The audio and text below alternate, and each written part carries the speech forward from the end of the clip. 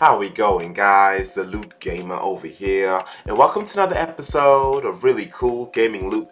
Over here people, we got the new Nintendo Switch Lite and I want to sort of show you guys all the really awesome details of this. As we can see fellas, we get ourselves three different colors and lots of cool comparisons and differences. The first thing that I want to sort of show you guys is, of course it's a lighter, it's got a smaller screen and it's got longer battery life over here. But to go through all of the details of this Switch in case you guys want to see what's the differences is of course on the left as you can see we got the Nintendo Switch and on the right the new Switch Lite and as you can sort of see over here the play mode so of course with the normal Nintendo Switch you get the TV, tablet and handheld with the Switch Lite, all you get is just the handout object only. So in case you guys had an issue with, you know, trying to put this on your TV, that may be a deal breaker. But for me, honestly, I would never play my Switch on the TV. I would just rather play my PC games on the TV or my PlayStation games. So a handout object for me is perfectly fine.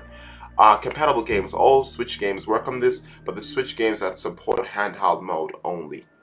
So next sort of difference here is the Joy-Con controllers are included but with the HD rumble and IR motion camera. Unfortunately with this Switch Lite guys there's none of that so we get no HD rumble or IR motion camera. So in case you guys play games that support that with the Nintendo Switch Lite unfortunately we won't get that. With the Nintendo Switch dock over here, um, it comes with a dock. With this one, it comes with no dock, and it's also not compatible with a dock either. So in case you guys wanted that, unfortunately, fellas, we don't get that.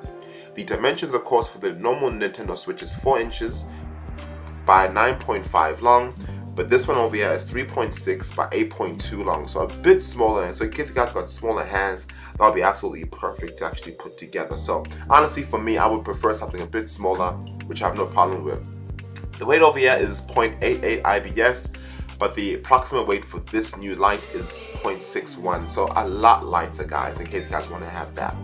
The screen of course is 6.2 on the original versus 5.5. So in case you guys game on your iPhones, if you guys like if you got like an iPhone 10s Max or something like that, it'll be a little bit smaller, 0.2 smaller. So that's sort of the sort of display that we'll be getting there. The battery life of course is 30 minutes longer on this new Lite compared to uh, 2.5 compared to 3 so you're getting about an extra 30 minutes of battery life which is pretty neat.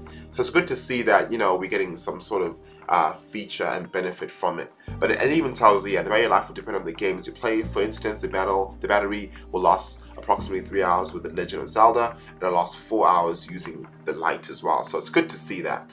But also, let's have a read over here on the game compatibility. So Nintendo Switch plays games in the Nintendo Switch library that support handheld. For games that do not support handheld mode, Players can wirelessly connect compatible controllers to Nintendo Switch Lite. If using separate Joy-Con controllers, users will need to have a device to, re to recharge them, such as a Joy-Con charging grip. To find play mode compatible information for specific gamers, please refer to the product packaging or Nintendo eShop. So unfortunately, guys, that's another sort of uh, marketing technique they're using. You'll, you'll actually have to buy another controller to actually use that. So that's kind of disappointing there. But those are the differences. So at the bottom over here, of course, is a summary. All you get, guys, is handheld compared to all of the other features on, on the on the Nintendo Switch. Let me know in the comments below what you guys think of that. For me, it's actually not a deal breaker at all. I really don't mind it.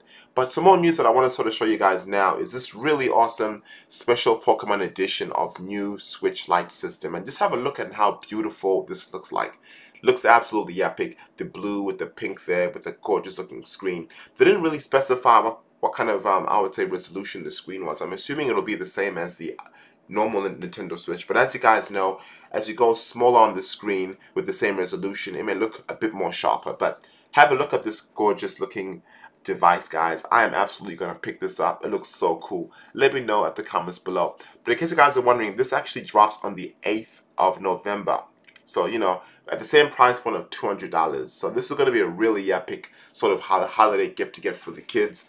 Let me know in the comments below. But honestly, for me, guys, this Nintendo Switch Lite is looking pretty hot. $100 cheaper compared to the original. Yes, we don't, we don't get all the features, but for me, I won't really be playing this on TV. I'll be playing this on hand, handheld object. But let me know in the comments below. I am the Loot Gamer. If, if you feel this enjoy, give me a thumbs up and a like because I want to bring you guys some more awesome loot. I'm definitely going to be picking this up. Are you guys going to be picking this up or just going to pass? I am the Loot Gamer. Thank you guys so much for watching, and I'll see you later. Deuces.